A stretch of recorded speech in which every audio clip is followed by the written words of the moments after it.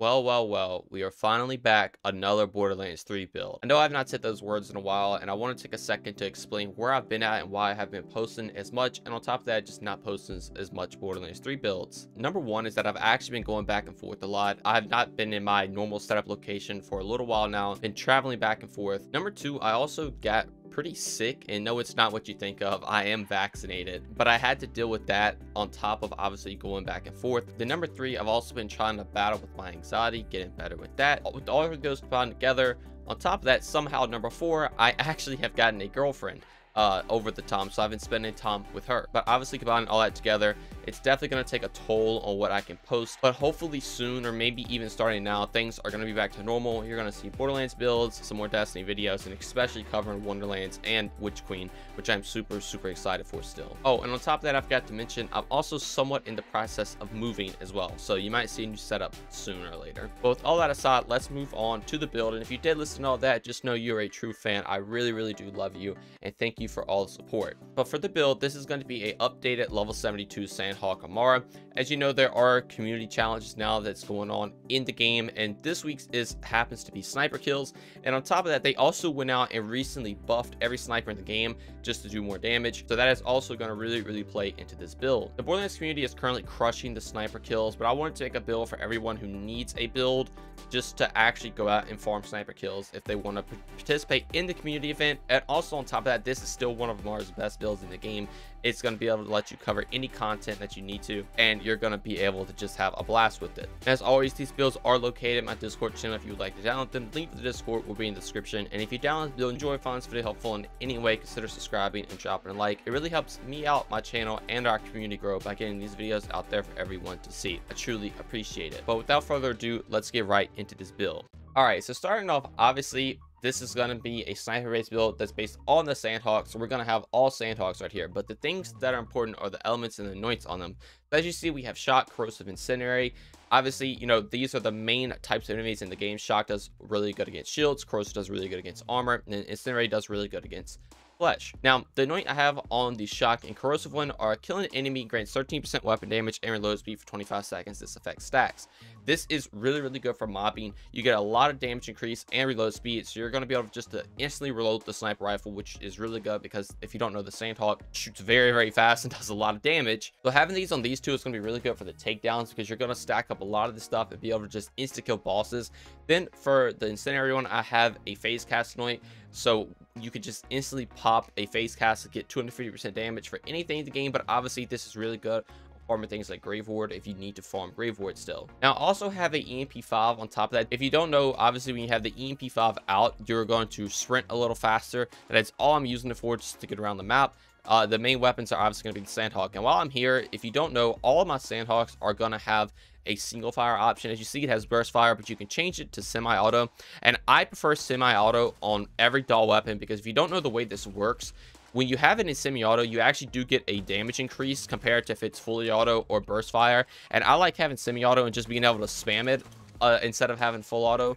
But if you want to get a full auto version, it will also still work very, very well. Now for shield, we're going to be using the Revolter. This probably comes to a shock to nobody, no pun intended. But on Axial Start, activate any effects that trigger on Shield Breaker Fill. This is going to, you know, make you shock and rage, get on a more fire rate, more damage, which obviously works really, really well with the Sandhawk. You're going to be able just to melt everything in one shot. And if it's a bigger enemy, you're like one to two shots. Now for class mod, Phasezerker. Phase Zerker is still just one of Amara's best class mods. You get max rush stacks when you use your axe skill. You get additional 5 rush stacks, and you're going to get weapon damage and action skill cooldown rate with your rush stacks as well. This is also giving you more splash damage, sniper damage, and dual weapon critical hit damage, which obviously is insanely good for a Sandhawk because Sandhawk does do splash damage. It's obviously a sniper rifle, and it is a dual weapon to get the crit damage. Now, grenades, I have an It's Piss, so I can just throw it and apply a little debuff on an enemy, but I do have all five axe skill and elements whenever you need to swap to any. Then I have a dual company man to get more dual fire rate, damage, and low speed. This is really, really good as well for DPS with the Sandhawk, and it also is giving you melt chance and like execute chance. That doesn't matter that much, but obviously it can apply your elements a little bit better, which is really, really cool. Then I have another artifact, Cutpurse Launchpad. Just this is going to let you refill your ammo since the Sandhawk is the only gun you're using and it does consume ammo a lot. This, you could just equip melee enemies or slam the ground and the rockets are going to come out and refill your ammo. Really, really strong. You're just going to have infinite ammo for one of the best weapons in the game that also recently just got buffed and it is insanely strong. Moving on to the skill tree, this is just going to be a pretty much generic uh, Amara setup. We have 5 and do harm, so all our rush stacks are going to give us more axial damage, which does work with Taz Bomb, which we're going to be using to just insta-kill the chained enemies.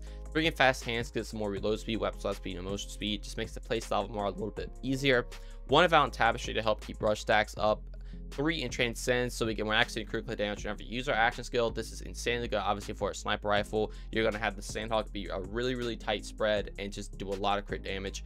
Then two in alacrity so our rush attack is going to give us more reload speed. This actually is pretty good as well for the sandhawk. One in ascendant so we can buff whatever augment we're using. I like to run stillness of mind just because it makes it really easy for a sniper build. Everything just locks up in the air together and you can just one shot everything. Three in Laid Bare so enemies take increased damage whenever our action skill hits an enemy. Again, this does work with Ties That Bind. The chain enemies will take 25% increased damage.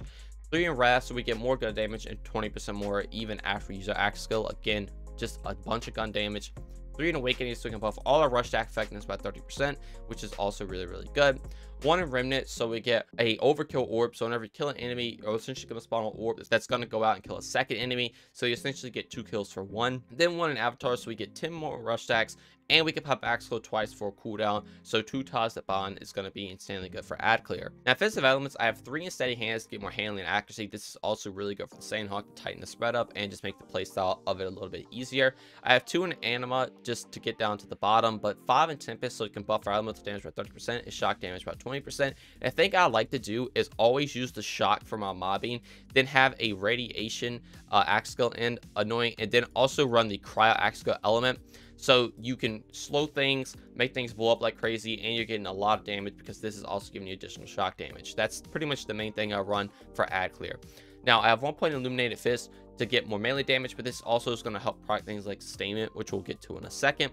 But I have 5 in Wildfire to get to the bottom. This is also going to make your status effects be able to spread, which does help with things like Harmageddon in your Guardian rank.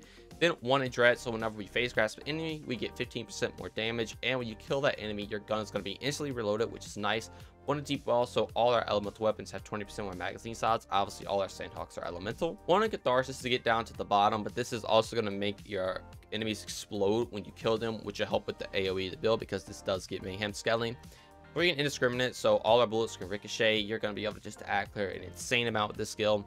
Then one, it's the same. This is what I was talking about. So Amara gains lifesteal whenever she deals elemental damage with her weapon. This also does work with Illuminated Fist, so you can go melee an enemy. And when you have things like Groundbreaker stacked up a ton of damage, you're just going to get max health when you go melee an enemy, which is really nice. Then two in Conflux, just again to get down to the bottom, but this will apply a different status effect, which again can also help with Harmageddon. But then one in Forceful Expression, so we get 18% bonus elemental damage based on our damage dealt. So this is also going to apply to your Axica element. So again, I'm running Cryo, so now my Sandhawk is not only again with the radiation accidentally exploding, it's also slowing with cryo, and the shock damage is doing a lot just because it's the shock version. And you are going to have access to all Axica elements, and like I said, all Axica end elements. So if you're farming a specific boss, you can obviously change your element to whatever is going to be really good against that boss, and then your Axica element as well.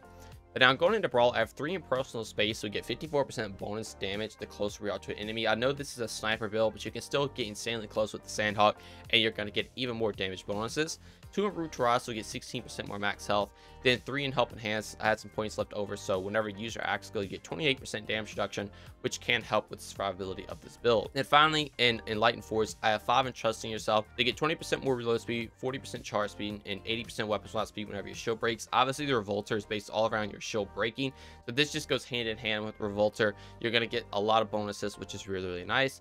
Then 5 and Heavy Rain, so we get more projectile speed and splash damage. This is obviously really, really good for the Sandhawk because it's going to make the Hawk itself travel even faster, do more damage because it does do splash damage, and with all your other accuracy bonuses, you're going to basically make your little Sandhawk into just one bullet itself, and you're going to be able just to insta-kill so many enemies with it. But yeah, guys, that is pretty much the build. Like I said, I will have this in my Discord if you want to download it. This should also help out with the community event of getting the sniper kills so you can unlock all the cosmetics. And also, this is just going to be an insanely good build. It is, like I said, a level 72 updated Sandhawk build, so like, it's obviously going to be really, really good. Uh, it can cover everything in the game and you can have a blast with it hopefully. But that's going to do for me. And again i really hope things are going to be back to normal soon. I can constantly post videos about everything. And thank you guys for sticking around and waiting. It really really means a lot to me and i love each and every single one of you. But thank you all so much for watching this video and i will see you in the next one. Peace